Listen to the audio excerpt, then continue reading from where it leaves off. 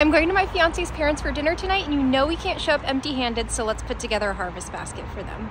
First I have some lemon ginger marmalade that I made. This is so good. And then I also have this lemon sage wine mustard that I made. Three eggs. All right, all right. Thank you, ladies. Next, I thought it'd be fun to collect some edible flowers. First, I've got one borage. Let's get some nasturtium. Let's get some calendula.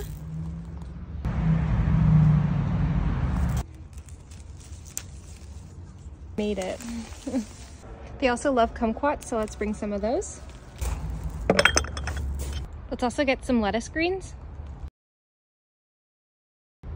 I also threw in these beautiful calendula. I think this variety is called Ivory Princess.